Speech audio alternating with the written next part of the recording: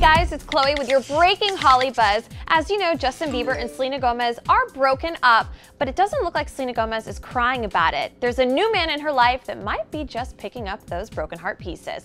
All right, so Selena Gomez has just celebrated her 22nd birthday. She actually celebrated with Cara Delevingne. Who knew they were best friends? They're in Saint-Tropez, which is in France. It's a very exclusive place. They were on a yacht. They were parasailing. She was riding around on the Sea-Doo with this mystery man, and we're gonna fill you in more on that. So we found out exclusively from sources at HollywoodLife.com that Selena spent her birthday party as far away from Justin Bieber as possible on purpose. This was not just a coincidence. Now, we actually found out from sources that Selena was the one that rejected Justin Bieber this time. So Justin probably thought that he could just snap his fingers and get Selena back. Well, he was wrong. So maybe that's why Justin, who allegedly just signed to a big Calvin Klein underwear campaign, was posting really sad shirtless selfies on Selena's birthday. Now, we also spoke to a source close to Justin who tells us well, that he's claiming that he's happy being single and that he's moved on and likes doing his own thing. But let me tell you, after he sees these sexy pictures of Selena flirting with this new guy, he might be a little bit jealous. All right, so let's get back to this mystery hot guy. His name is Tommy Chiabra. He's 28 years old